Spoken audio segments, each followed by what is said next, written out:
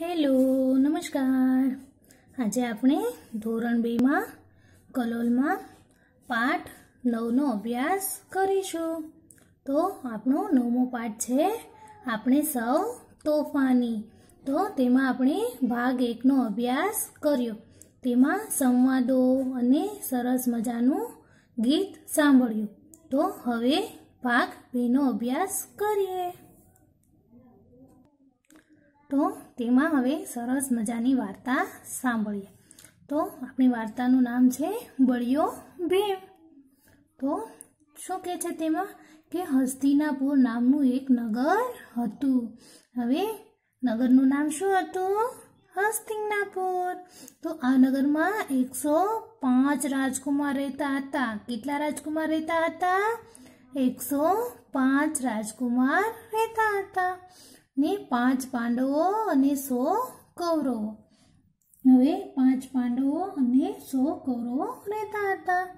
તો તે નાના નાના રાજકુમારો ખાય, પીવે, રમી અને મજા કરે. તો એકવાર પાંચે પાંડવ બગીચામાં રમતા હતા. તો એટલામાં દુર્યોધન અને તેના નવ્વાણું ભાઈઓ આવ્યા. તો દુર્યોધન અને તેના બીજા ભાઈઓને પાંડવો જરાય ન ગમે. એમાંય ભીમ અને કૌરવોના મનમાં બહુ જ ખીજ. હવે ભીમ અને ભીમ માટે કૌરવોને ખૂબ જ ગુસ્સો આવતો એમ. તો કૌરવો જે છે એ હંમેશા પાંડવોને હેરાન કરવાની તક જ શોધતા હતા. હવે આપણે મહાભારત જોયું જશે, મહાભારતનું નામ સાંભળ્યું જશે. તો એ આપણા મહાન ગ્રંથો છે. તો મહાભારતમાં કૌરવો જે છે એ સો ભાઈઓ હતા અને પાંડવો જે છે એ પાંચ ભાઈઓ હતા. તો કૌરવોને પાંડવો જરાય ગમતા ન હતા.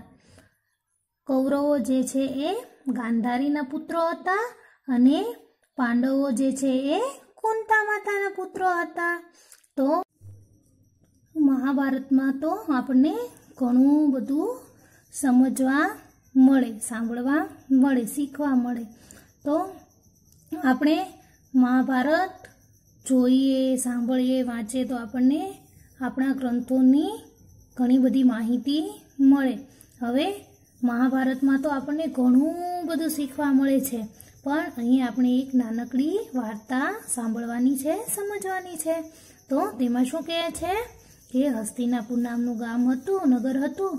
તેમાં એકસો ને પાંચ રાજકુમાર રહેતા હતા. તેમાં પાંચ પાંડવ અને સો કૌરવો હતા. હવે બધા નાના નાના રાજકુમાર હતા. તેઓ ખાય, પીવે, રમે ને ખૂબ મજા કરતા. અને એકવાર પાંચેય પાંડવ બગીચામાં રમતા હતા.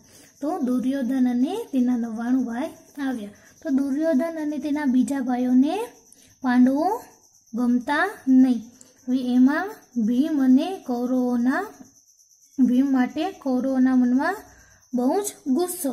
એને જરાય ન ગમે. એટલે કૌરવો હંમેશા પાંડવોને હેરાન કરવાની તક શોધતા, એટલે કે હેરાન કરવા માટેનો સમય ગોતતા.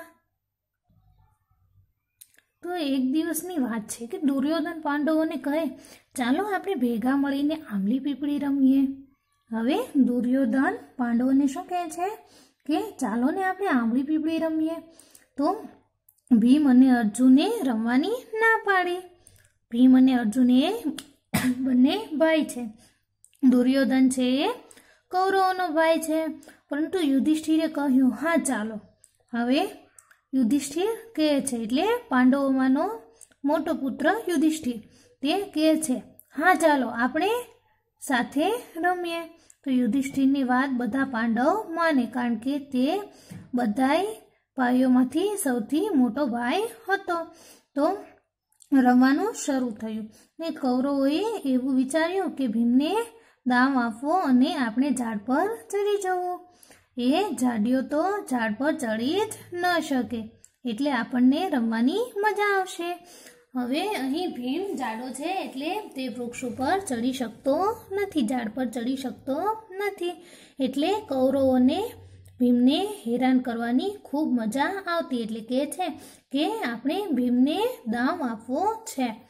તો આવી રીતે તે ભીમને દાવ આપે છે. હવે આમ ભીમનો દાવ આવ્યો. ને ભીમે આંખ બંધ કરીને ગણવાનું ચાલુ કર્યું.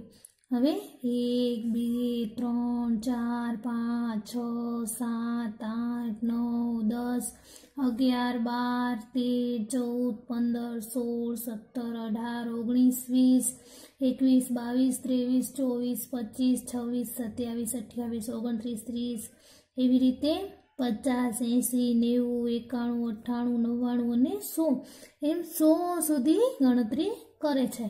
તો આવી રીતે તે ગણતરી પૂરી કરે છે. એકથી સો સુધીની ગણતરી પૂરી કરે છે. આમ આંખ ઉગાડીને આજુબાજુ જોયું તો કોઈ જોવા ન મળે. હવે ભીમ છે એ ગણતરી કરીને તેની આંખ ખોલીને આજુબાજુ જોવે છે. તો એને કોઈ જોવા મળતું નથી. તો દુર્યોધન અને બીજા કૌરવો ઝાડ પર બેસીને હસતા હતા. હવે દુર્યોધન અને તેના બીજા નવાણું ભાઈઓ જે છે એ ઝાડ પર બેસીને હસતા હતા તો ભીમ ઝાડ નીચે ગયો. હવે કૌરવો ભીમને ખીજવવા માંડ્યા. હવે કૌરવો ભીમને ખીજવે છે કારણ કે ભીમ ઝાડ પર ચડી શકતો નથી કારણ કે તે ખૂબ જાડો છે. અહીં આપણે ચિત્રમાં જોઈ શકીએ છીએ કે ભીમ જે છે અહીં ઝાડ નીચે ઊભો છે. ઝાડ નીચે આવે છે ને કૌરવો જે છે એ ઝાડ પર ચડેલા જોવા મળે છે. તો શું કે છે? જાળીઓ જાળીઓ જાળીઓ ભીમ ઝાડ પર ચડશે કેમ? એમ પ્રશ્ન કરે છે કે ભીમ જાળીઓ છે તો તે ઝાડ પર કેમ ચડશે? હવે આમળી પીપળીનો દાવ દેવા આપણને એ અડશે કેમ? હવે જે કૌરવો છે એ વિચાર કરે છે કે આમળી પીપળીનો દાવ દેવા હવે એ આપણને કેમ મળશે આપણે તો ઝાડ પર ચડી ગયા છીએ. તો ભીમ વિચારમાં પડ્યો. હવે ભીમ વિચારે છે કે વાત તો સાચી. હું ઝાડ પર કેવી રીતે ચડું હવે ભીમ વિચારતા કહે છે કે તેની વાત સાચી છે. હું ઝાડ પર હવે ચડું તો કઈ રીતે ચડું ત્યાં તો કૌરવો ફરીથી બોલ્યા. હવે કૌરવો બોલે છે કે કોઈના ટેકે ચડશે તો પણ ફેરો તેનો હોગળ જશે. હવે શું કહે છે કે ભીમને જો કોઈ ટેકો પણ કરશે ને, તો પણ તેનો ટેકો ફોગટ જશે. એટલે કે તે ચડી શકશે નહીં એટલે ફોગટ એટલે નકામો. એટલે એ ચડવાની ટ્રાય પણ કરશે તોય નહીં ચડી શકે. માટે કહે છે કે ફેરો તેનો ઓગટ જશે. હવે ઝાડની ડાળીએ પગ મૂકશે તો ડાળી સાથે નીચે જશે. હવે જાડા હોય એટલે વજન પણ વધારે હોય. એટલે ગૌરવ શું વાત કરે છે? કે ઝાડની ડાળીએ પગ મૂકશે તો ડાળી પણ સાથે નીચે આવશે અને ભીમ પણ નીચે પડી જશે. હવે ભીમને બહુ ગુસ્સો આવ્યો. ભીમને ખૂબ ગુસ્સો આવતો. તો જોરથી બૂમ પાડ્યું. હવે ભીમ જોરથી બૂમ પાડે છે. એના મોટા અવાજથી એક, બે, એમ એમ કૌરવો તો ધ્રુજવા લાગ્યા. તો ભીમે પોતાનો હાથથી જેવો પગ પછાડ્યો. હવે કૌરવો ધ્રુજવા લાગ્યા અને ભીમે તેનો પગ પછાડ્યો ને ધરતી ધ્રુજી. બે, ત્રણ કૌરવ તો ઓ મારે કરીને નીચે પડ્યા. તો ભીમ હજી પણ ગુસ્સામાં હતો ને કારણ કે દુર્યોધન અને દુશાસન હજી ઝાડ પર હતા. એટલે ભીમને ખૂબ ગુસ્સો આવ્યો કે હજી તેના બે જે ભાઈઓ છે, જે તેને ખૂબ ખીજવાડી રહ્યા છે, એને ગુસ્સો અપાવી રહ્યા છે, જે દુર્યોધન અને દુશાસન છે, એ હજી એ ઝાડ પર છે ને ભીમને ખીજવતા હતા. એ ભીમને ખૂબ ખીજવતા ને ભીમને ખૂબ ગુસ્સો અપાવતા. હવે ગુસ્સામાં ને ગુસ્સામાં ભીમે ઝાડના તળને જોરથી એક મુક્કો માર્યો. હવે મુક્કો માર્યો એટલે આખું ઝાડ ધ્રુજી ગયું. ને ચાર પાંચ કૌરવો તો મરી ગયા. ઓ મારે, બોલતા નીચે પટકાયા. હવે મારે, બોલતા બોલતા તેઓ નીચે પડ્યા. આ જોઈને ભીમને યુક્તિ સૂજી.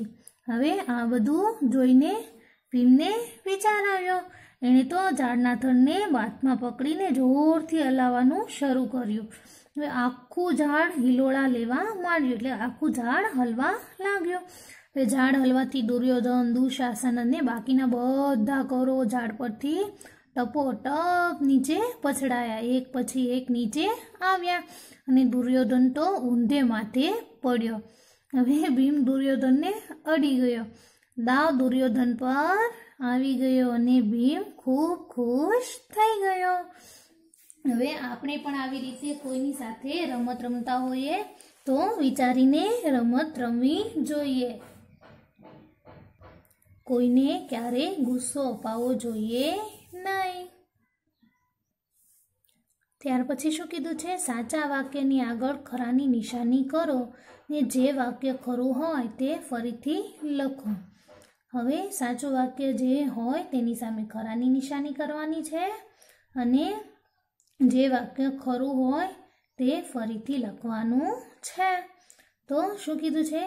કે દુર્યોધનને ભીમ બહુ ગમે. હવે દુર્યોધનને ભીમ જરાય ગમતો નહીં. એટલે અહીં ખોટાની નિશાની આવશે. તો શું કીધું છે? કે અહીં આપણે ખરું વાક્ય લખવાનું છે. એટલે દુર્યોધનને ભીમ જરાય ન ગમે તેમ લખવાનું. ત્યાર પછી ભીમે દુર્યોધનને મુક્કો માર્યો. હવે એ વાત કેવી છે? ભીમે દુર્યોધનને મુક્કો માર્યો ન હતો એટલે એ વાત ખોટી છે. તો અહીં ખરું વાક્ય લખવાનું કે ભીમને ઝાડના થડને મૂકો માર્યો. ભીમે જે છે એ ઝાડના થડને મૂકો માર્યો. મેં અહીં જવાબ લખ્યા છે, તમારે તમારા પુસ્તકમાં લખવાના રહેશે. ત્યાર પછી છેવટે દુશાસન પર દાવ આવ્યો. તે વાક્ય પણ ખોટું છે. એટલે અહીં ખોટાની નિશાની કરવાની અને ખરું વાક્ય શું આવશે આપણું કે છેવટે દુર્યોધન પર દાવ આવ્યો. ત્યાર પછીનું વાક્ય છે, કૌરવો ઝાડ પરથી નીચે પટકાયા. તે વાક્ય સાચું છે. એટલે અહીં આપણે સાચું વાક્ય દેવા દેવાનું છે. તેનું તે જ લખવાનું છે, કે કૌરવો ઝાડ પરથી નીચે પટકાયા. ત્યાર પછી પાંડવો યુધિષ્ઠિરની બધી વાત માને. તે વાક્ય પણ સાચું છે. એટલે આપણે એનું એ જ વાક્ય રહેવા દઈશું કે પાંડવો યુધિષ્ઠિરની બધી વાત માને. ત્યાર પછી ભીમ ખૂબ જ શક્તિશાળી હતો. તે વાક્ય પણ સાચું છે. એટલે લખવાનું, ભીમ ખૂબ જ શક્તિશાળી હતો. ત્યાર પછી ભીમ ઝાડ હલાવ્યું, ભીમે ઝાડ હલાવ્યું એટલે પાંડવો નીચે પડ્યા. તે વાત ખોટી છે. એટલે ખોટાની નિશાની કરવાની છે વર્તુળમાં? ને સાચું વાક્ય લખવાનું? કે ભીમ ઝાડ, ભીમે ઝાડ હલાવ્યું એટલે કૌરવો નીચે પડ્યા. ત્યાર પછીનું વાક્ય છે, હસ્તિનાપુરના રાજકુમારો એટલે પાંડવો અને કૌરવ.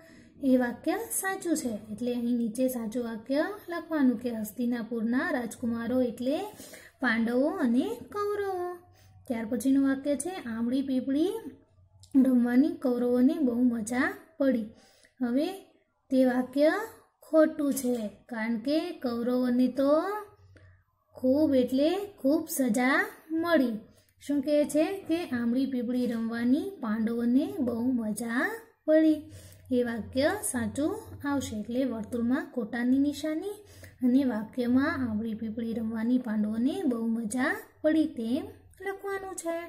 તમારે તમારા પુસ્તકમાં લખવાનું રહેશે. ત્યાર પછી શું કહે છે? કે આપેલા વાક્ય જેવો જ અર્થ ધરાવતું વાક્ય કયું? જોડો. હવે વાક્ય જેવો જે અર્થ ધરાવતું હોય તે વાક્ય આપણે જોડવાનું છે.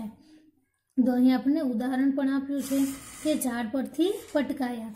તો શું આવશે? કે ઝાડ પરથી નીચે ઉતર્યા કે ઝાડ પરથી નીચે પડ્યા? તો શું આવશે? ઝાડ પરથી નીચે પડ્યા. ત્યાર પછી ઝાડ હિલોળા લેવા લાગ્યું. તો શું આવશે? ઝાડ આમ તેમ હલવા લાગ્યું કે ઝાડ હિંચકો ખાવા લાગ્યું? તો આપણો જવાબ આવશે, ઝાડ આમ તેમ હલવા લાગ્યું. ત્યાર પછી ભીમ બહુ બળ્યો હતો. તો શું આવશે? ભીમ બહુ શક્તિશાળી હતો કે ભીમ બહુ બળી ગયો હતો? તો આપણો જવાબ આવશે, ભીમ બહુ શક્તિશાળી હતો. ત્યાર પછી એનો ફેરો ફોગટ જશે. તો શું આવશે? એનો ફેરો નકામો જશે કે એનો ફેરો મજાનો જશે? તો આપણો જવાબ આવશે એનો ફેરો નકામો જશે. ત્યાર પછીનું વાક્ય છે, ભીમને એક યુક્તિ યાદ આવી. તો શું આવશે? ભીમને એક યુક્તિ ગમી ગમી ગઈ કે ભીમને એક યુક્તિ સૂજી? તો આપણો જવાબ આવશે, ભીમને એક યુક્તિ સૂજી. તો મેં અહીં વાક્ય જોડેલા જ છે. તમારે તમારા પુસ્તકમાં જોડવાના રહેશે. ત્યાર પછી શું કીધું છે? શબ્દોને યોગ્ય ક્રમમાં ગોઠવીને વાક્ય બનાવો. તો અહીં આપણને શબ્દો આપ્યા છે. તેને યોગ્ય ક્રમમાં ગોઠવીને વાક્ય બનાવવાના છે. મેં અહીં લખ્યા છે, તમારે તમારા પુસ્તકમાં લખવાના રહેશે. તો પહેલું વાક્ય છે, કહે છે, દરરોજ મારા દાદા મને વાર્તા. તો આપણે તેને યોગ્ય ક્રમ આપવાનો છે કે મારા દાદા દરરોજ મને વાર્તા કરે છે.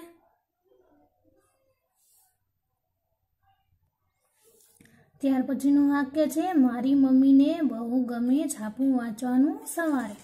તો તેમાં શું આવશે? મારી મમ્મીને સવારે છાપું વાંચવાનું બહુ ગમે. તો આપણે આખું વાક્ય લખવાનું. મારી મમ્મીને સવારે છાપું વાંચવાનું બહુ ગમે. ત્યાર પછી ત્રીજું વાક્ય. રસોઈ મારા બનાવે છે પપ્પા સરસ. તો આપણું વાક્ય કઈ રીતે બનશે? મારા પપ્પા સરસ રસોઈ બનાવે છે. તો અહીં વાક્ય લખવાનું કે મારા પપ્પા સરસ રસોઈ બનાવે છે. ત્યાર પછીનું ચોથું વાક્ય જાય છે, મારી ક્રિકેટ રમવા મોટી બહેન. તો કેવી રીતે વાક્ય બનશે કે મારી મોટી બહેન ક્રિકેટ રમવા જાય છે. તો અહીં વાક્ય લખવાનું, મારી બહેન, મારી મોટી બહેન ક્રિકેટ રમવા જાય છે. ત્યાર પછી, બહુ મને ભાવે છે દૂધ ગાયનું. તો આપણું વાક્ય કઈ રીતે બનશે કે ગાયનું દૂધ મને બહુ ભાવે છે. તો અહીં વાક્ય લખવાનું કે ગાયનું દૂધ મને બહુ ભાવે છે.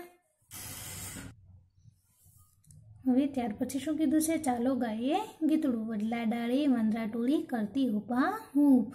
હવે આ સરસ મજાનું કાવ્ય જે છે એ આપણે આગળ જોઈ ગયા છીએ એટલે તમારે ફરીવાર વાંચવાનું છે અને ગાવાનું પણ છે.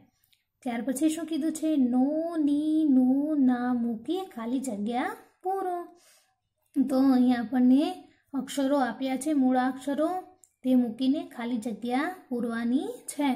તો પેલું શું કીધું છે? ભીમ, ખાલી જગ્યા હાથ પણ મોટા. તો ખાલી જગ્યામાં શું આવશે? કે ભીમના હાથ પણ મોટા. ત્યાર પછી મમ્મી ખાલી જગ્યા સ્કૂટર નવું છે. તો આપણો જવાબ શું આવશે? મમ્મીનું સ્કૂટર નવું છે. ત્યાર પછી મારા ભાઈ ખાલી જગ્યા સાયકલ હું પણ ચલાવું છું. તો શું આવશે કે મારા ભાઈની સાયકલ હું પણ ચલાવું છું. ત્યાર પછી આજે નાસ્તા ખાલી જગ્યા ડબ્બો ઘરે ભૂલી ગઈ. તો આપણો જવાબ આવશે, આજે નાસ્તાનો ડબ્બો ઘરે ભૂલી ગઈ.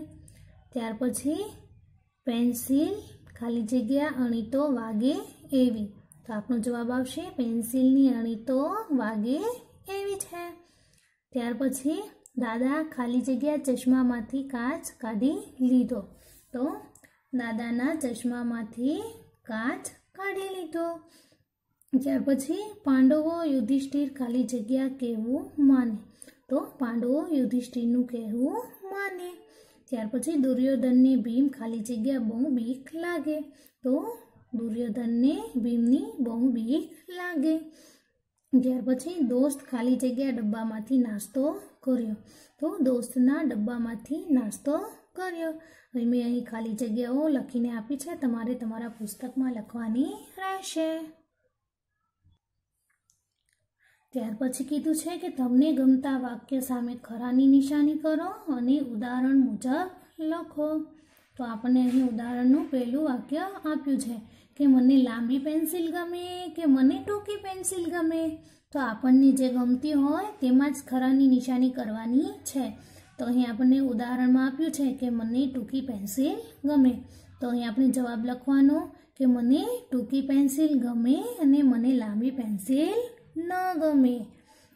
ત્યાર પછીનું વાક્ય છે, મને સવારે રમવું ગમે કે મને સાંજે રમવું ગમે?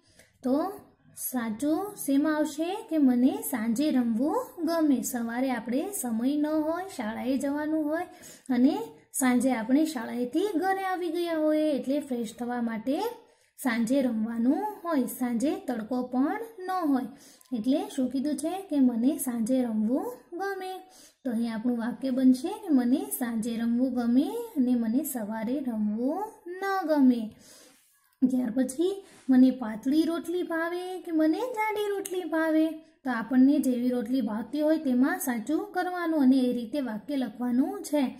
તો અહીં કીધું છે કે, મને પાતળી રોટલી ભાવે. તો આપણું વાક્ય આવશે, મને પાતળી રોટલી ભાવે, ને મને જાડી રોટલી ના ભાવે. ત્યાર પછી, મને ઊંચી સાયકલ ગમે કે મને નીચી સાયકલ ગમે.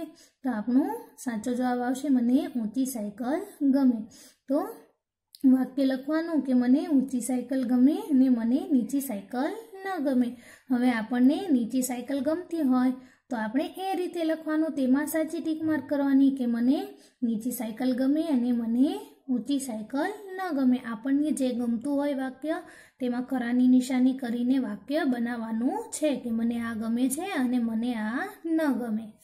મેં અહીં લખ્યું છે, તમારે તમારા પુસ્તકમાં લખવાનું રહેશે. ત્યાર પછી, મને હળવું દફતર ગમે કે મને વજનદાર દફતર ગમે? તો મને હળવું દફતર ગમે. તો મને હળવું દફતર ગમે અને મને વજનદાર દફતર ન ગમે. તેમ લખવાનું. ત્યાર પછી મને ગરમ દૂધ ભાવે કે મને ઠંડુ દૂધ ભાવે? તો અહીં લખ્યું છે, મને ઠંડુ દૂધ ભાવે. તો આપણે વાક્ય લખવાનું કે મને ઠંડુ દૂધ ભાવે અને મને ગરમ દૂધ ન ભાવે. ત્યાર પછી, મને નાનું બેટ ગમે કે મને મોટું બેટ ગમે? તો આપણને મોટું બેટ ગમતું હોય તો તેમાં સાચાની નિશાની કરવાની અને વાક્ય લખવાનું કે મને મોટું બેટ ગમે અને મને નાનું બેટ ન ગમે. ત્યાર પછી શું કીધું છે કે નીચેના વાક્યો ધ્યાનથી વાંચો. તો હવે આપણે વાક્યો વાંચીશું. તો શું કહે છે કે આરતી અને આયુષ ભાઈ બહેન. હવે આરતી મોટી અને ડાઈ હતી. તો આયુષ નાનો પણ બધાના ચાળા પાડે.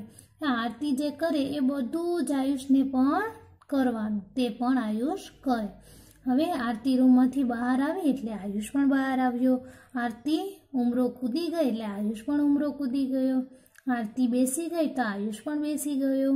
આરતી ઊભી થઈ એટલે આયુષ પણ ઊભો થયો. આરતી ધાબે ચડી તો આયુષ પણ ધાબે ચડ્યો. આરતી હસી તો આયુષ પણ હસ્યો. આરતી ધાબુ વાળવા લાગી તો આયુષ ઊભો જ રહ્યો. હવે આ પરથી આપણને ઘણું બધું જાણવા મળે કે આપણે આવા પણ તોફાન કરીએ કે આપણી મોટી બહેન કે આપણો મોટો ભાઈ જે કાર્ય કરતા હોય તે આપણને જે તોફાન માટેના કાર્યો હોય તે કરવા ખૂબ ગમે અને મહેનતવાળા કાર્ય જો કરવાના હોય તો આપણે ત્યાંને ત્યાં જોવા રહી જઈએ છીએ. એટલે આરતી જે કામ કરતી તે, જે જે ક્રિયાઓ કે કામ કરતી તેવું આયુષ પણ કરતો અને જ્યારે મહેનતનું કામ આરતીએ કર્યું તો આયુષ ત્યાંને ત્યાં જ ઊભો રહ્યો. તો ત્યાર પછી શું કીધું છે કે વાંચો, સમજો અને ખાલી જગ્યામાં યોગ્ય શબ્દો લખો. ત્યારબાદ વર્ગ સમક્ષ મોટેથી વાંચો. તો હવે અહીં આપણને સરસ મજાના વાક્યો આપ્યા છે. હવે તેમાં ખાલી જગ્યા લખવાની છે. તો શું કીધું છે કે શર્મિષ્ઠા ગીત ગાતી હતી. તો તેની સામે શું લખવાનું છે? કે દક્ષ ગીત ગાતો ન હતો. ત્યાર પછીનું કીધું છે કે મૌનસ દોડીને જતો હતો. તો મૈત્રી દોડીને જતી હતી. મહર્ષિ શાળામાં આવવાનો છે. તો મૈત્રી શાળામાં આવવાની છે. શાર્દુલ ઘરમાં ઘરકામ કરતો હતો. તો શ્રેયા ઘરકામ કરતી હતી. ત્યાર પછી પ્રિયાંશ ક્રિકેટ રમવા આવેલો. તો શ્રેયા ક્રિકેટ રમવા આવેલી. હવે જે આપણે આગળ વાક્યો સમજ્યા, વાંચ્યા, તે જ રીતે અહીં પણ આપણે વાંચીને વાક્યો લખવાના છે ને જે ક્રિયા કરે છે તેવી સામે ક્રિયા કરવાની છે. તે રીતે ખાલી જગ્યા અહીં લખવાની છે. કે દક્ષ ગીત ગાતો ન હતો. મૈત્રી દોડીને જતી હતી. મૈત્રી શાળામાં આવવાની છે. શ્રેયા ઘરકામ કરતી હતી. શ્રેયા ક્રિકેટ રમવા આવેલી. હવે મેં અહીં ખાલી જગ્યા લખી છે. તમારે તમારા પુસ્તકમાં લખવાની રહેશે. તો આજે આપણે પાઠ નવમાં, ભાગ બેમાં અહીં સુધી અભ્યાસ કરીશું.